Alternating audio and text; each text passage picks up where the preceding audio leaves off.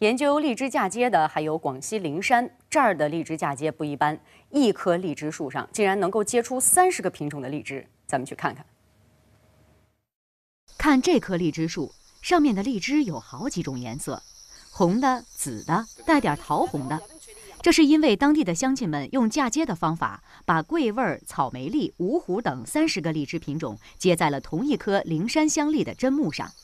当然了，这棵树是当地用来做试验的，技术人员要看看不同荔枝嫁接之后的表现，以后再进行进一步的研究。我们的灵山香荔啊是非常啊优秀的砧木，因为这个灵山香荔结出来的果呢，表现的比原来的。更香、更浓、更好吃。